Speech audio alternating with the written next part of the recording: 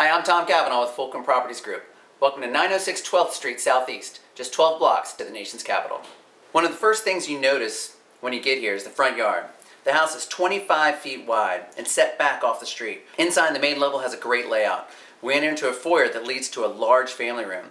We even have a formal dining room and an open kitchen with subway tile, backsplash, and butcher block counters. Off the dining room is a half bath and a laundry.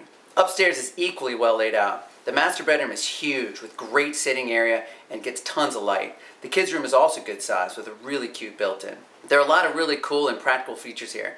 There's exposed brick in the master bedroom and up the stairwell, a cool little book nook at the upper landing. The oak hardwoods are perfect throughout the entire house, and the master bath still has the original clawfoot tub.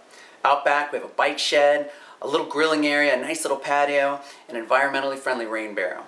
This location is spectacular. We're just two blocks to Metro and Harris Teeter. We're four blocks to the shops at Barracks Row and Eastern Market. You can get in and out of the city on 295, 395, and 50 really easily. It really doesn't get much better than this. Thank you for visiting 906 12th Street Southeast. For more information, visit the URL below, fulcrumpg.com, or come to one of our open houses this weekend.